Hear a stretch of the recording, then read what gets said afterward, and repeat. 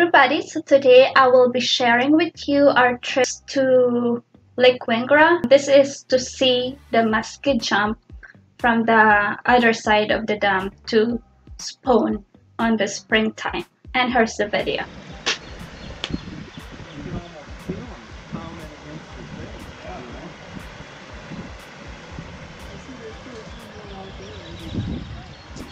What are we doing, April? What are we doing? Watch the muskies jump. Why are they jumping? Because it's a, it's a spring.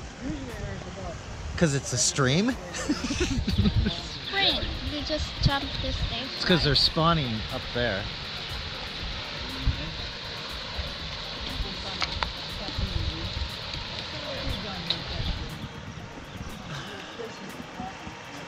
It's too late.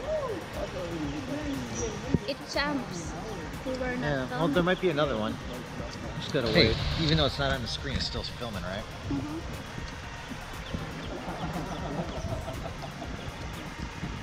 Just can't see. It Must be in the frame. I think it's where we go fishing. right? Yeah, this is where we fished for bluegills.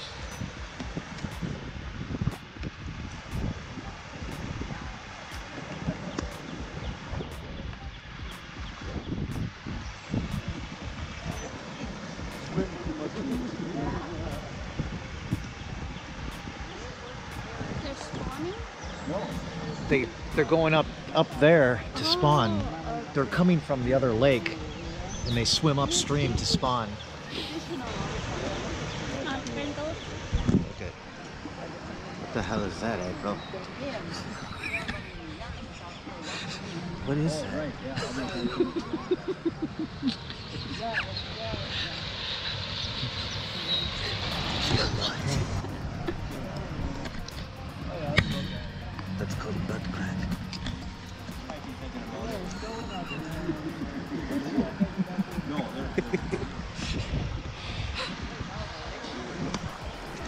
Can't stop looking at it. That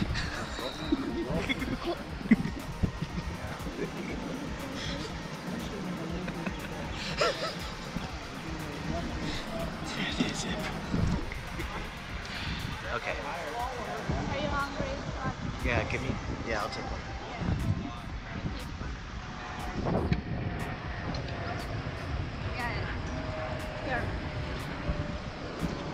What is that?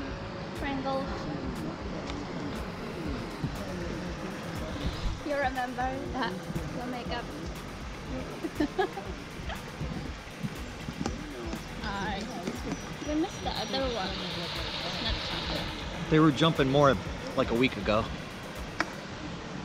So it's all gone now. Not yet. You just seen one jump. Just didn't So what film it. we gonna eat for lunch? Um, I don't know. Want to go to go to Chinese? You know they put MSG. Yeah, you like MSG, don't you? Yeah. You know it's bad for you, right? You said it's not. MSG?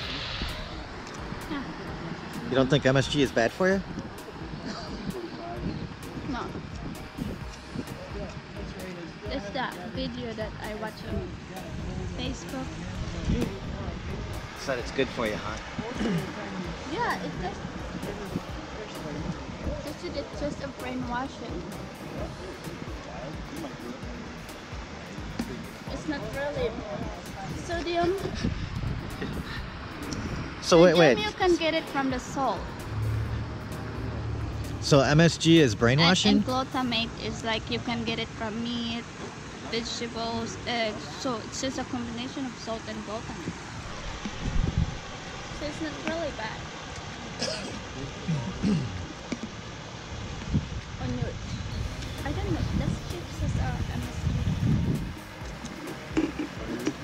think it's bad for your kidneys. It's the umami flavor. The glutamate, uh, sodium glutamate, umami flavor. Umami? hmm What does that mean? that we crave, that's the taste. Sweet, sour, salty, and umami is the fifth thing. Umami? Mhm. What does umami taste like? You can get it from tomato. It's a craving. It's a taste that we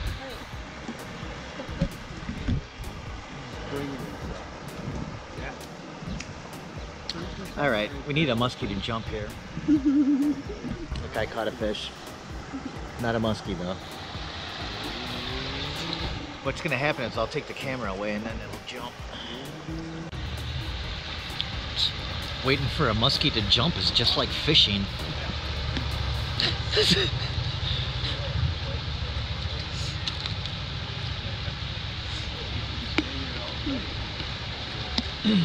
okay, come on, jump. Tell the muskie to jump, eh, April. Gotta coax him. Did you see that? What? A little bit of tail. Yeah, you can see him down there, but they can see him down there swimming. Yeah, big one there. There. But it's Yep. We want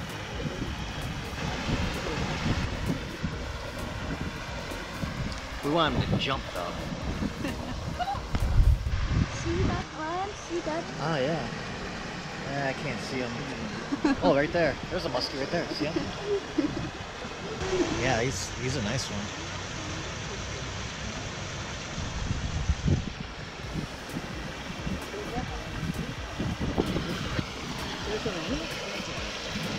Oh wow, look at that.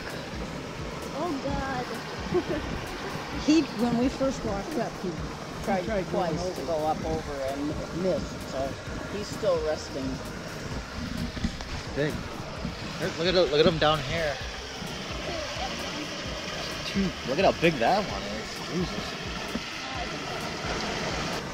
It's amazing how big he is.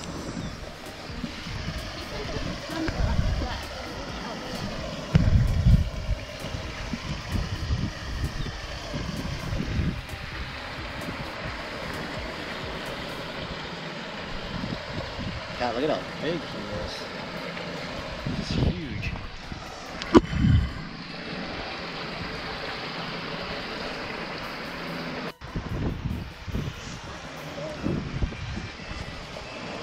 Why don't you jump in there and help him?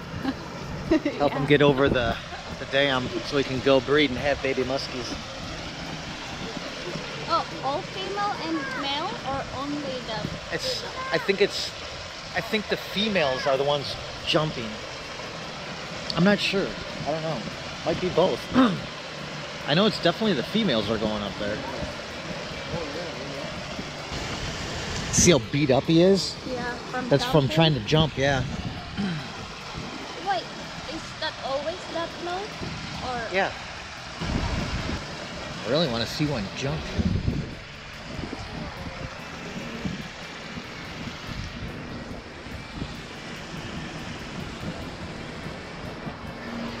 Oh, okay.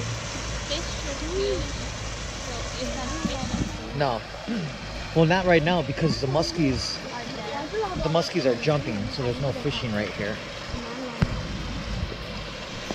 When the muskies stop stop spawning, then they'll take that out and then you can fish here. An instinct tells them that they got to go upstream. That right up there is Lake Wingra. Without this dam, they don't have to jump. Well, no, but the Lake Wingra would be a lot smaller. This dam keeps it at a certain level.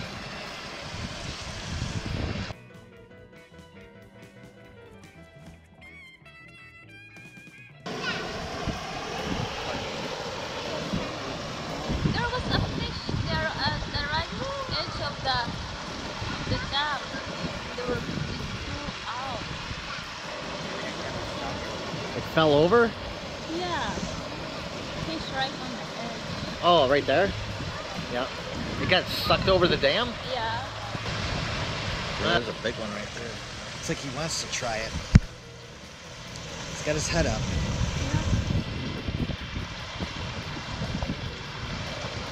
Yeah, yeah because if they jump, they're gonna be stuck in also by the Ooh.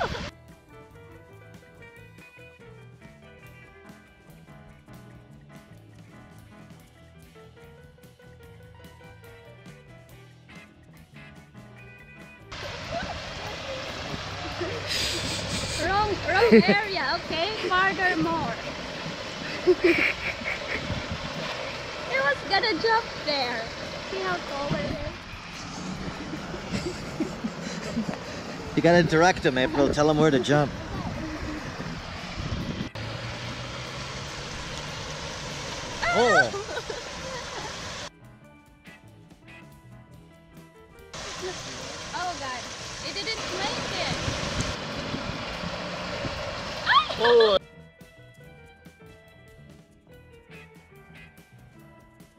There we go. Oh, didn't make it. Well, we got three of them jumping. That effort was wasted though. With trying to jump. He's making a run for it. Where is it? It's right there. They gotta go down deep, Oh yeah. swim up. We should do that. Oh, that fish there. Those muskies will come up and just eat those. The smaller Oh yeah. Three of them. Yeah. Or four. actually. Not successful. None of them made it though. no. no. Oh, we just watched um, three um, muskies jump, but not really the successful ones. So we we've been there for like for 30 minutes. J- jumping over what? Jumping over the dam, the muskies. So that's it's kind of first time I saw it, but not really successful.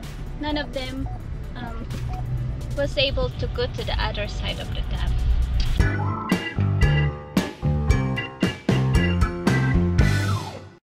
So muskie or muskellunge is also known as muscalonge, milliganum, or muskinode. It's kind of hard to the real pronunciation on these words, but I'll just put them down below. I don't know the real pronunciation on this one. So muskie is the top freshwater predator um, native to North America.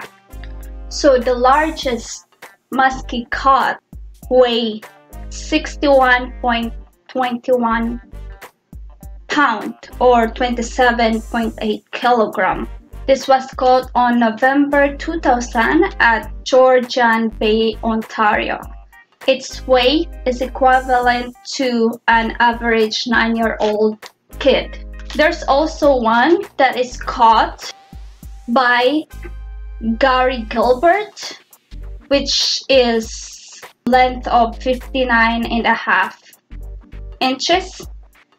And it's considered to be the oldest which is they assume that it's like 25 years old and the biggest. However when it comes to muskie they they do the weight not the length of the muskie. So it's kind of you know because muskie sometimes their weight changes. It's depends on the season of course but that's how they determine if this is the the biggest. They determine the muskies to be the biggest for the record is for the, its weight not for the length of the muskie so although there are other references saying that they have like 63 inches you know length of the muskie but they really are disputing the validity of that so the only record that they have with the evidence was the one that I just mentioned with Gary Gilbert and the one found in Georgiana, Georgina Bay, Ontario. They usually spawn in the mid-late spring. Spawning usually lasts for 5 to 10 days and it usually occur during the nighttime. So on spawning, they prefer the sand bottom or rock bottom bottom because if the bottom is mud, their eggs can can sink into the mud and suffocate. And that's that's why they don't prefer the mud bottom. One thing also you want to know about muskies are they don't migrate and they can he can live up to 30 years old. And that's it. That's all guys and see you in my next video.